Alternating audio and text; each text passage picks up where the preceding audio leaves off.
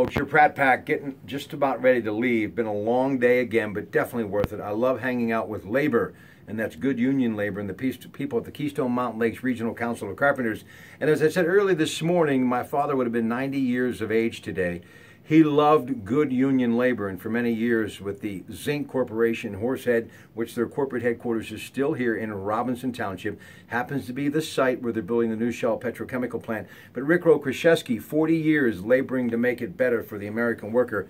Here's his father, Vance. He too a carpenter who worked for that great Kaufmann's department store name for a number of years. And Tommy is shooting this. He, of course, the pride of Duquesne Heights, another card-carrying member of the great union labor that is the Keystone Mountain Lakes Regional Council of Carpenters. And you know, I talk a lot about legacy and history and life and what really someone leaves behind. And it's all about faith and family and that body of work, and especially people that work with their hands. And my good friend John Diagardi from Rome Monument, of course, his father Vince, have always talked about what they do as far as the skilled labor, taking that marble and turning it into a piece of history.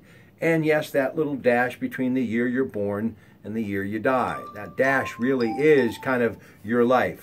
And so let me read this for you before we say goodnight. The dash between.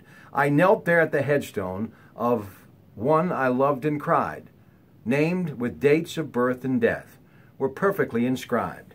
I ponder these two dates on how little they both mean when they compare to the tiny dash that lies there in between. The dash serves an, as an emblem of our time here on earth, and although small it stands for all, our years of life and worth. And our worth will be determined by how we live each day.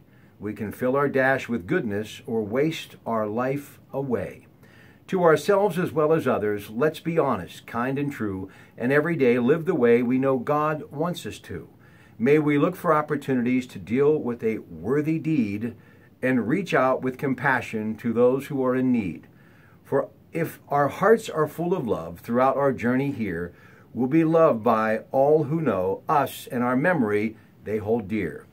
And when we die, these memories will bring grateful, loving tears to all whose lives were touched by the dash between our years. And as you can hear in the background, a loved one trying to reach these great workers on their smartphone. So it's time for us to say goodnight. And to my father and my mother, whose birthday would have been this Saturday, I love you both. Thank you for the great Catholic faith and more importantly, the faith in humanity. Good night from the Keystone Mountain Lakes Regional Council of Carpenters. So long from your Pratte Pack.